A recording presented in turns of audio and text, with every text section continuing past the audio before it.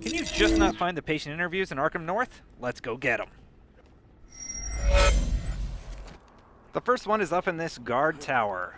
Just climb on up there, walk past the teeth if you haven't got them yet, and pick up the tape sitting there by the television.